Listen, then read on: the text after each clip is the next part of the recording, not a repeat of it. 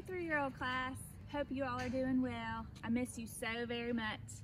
Wanted to talk to you today about some fun things you can do with just an empty milk jug, maybe an empty water jug or empty water bottle, or even an empty can.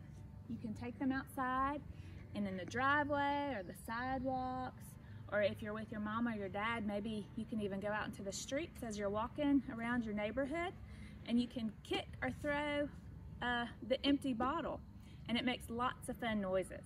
So let me show you. You can put it on the ground and you can kick it. It makes all kinds of fun noises. And you're getting some really good single leg stance while you're kicking through with that leg. The other thing you can do is you can pick it up and you can throw it. And you can walk to it and you can throw it again. And when you're squatting down to pick it up and you're standing back up, you're getting your leg muscles really strong.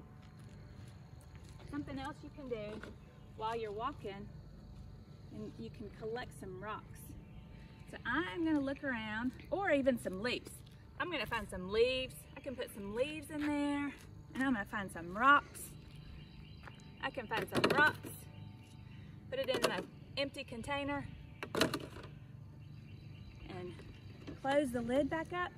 And then with those rocks in there, it's making even more fun noises.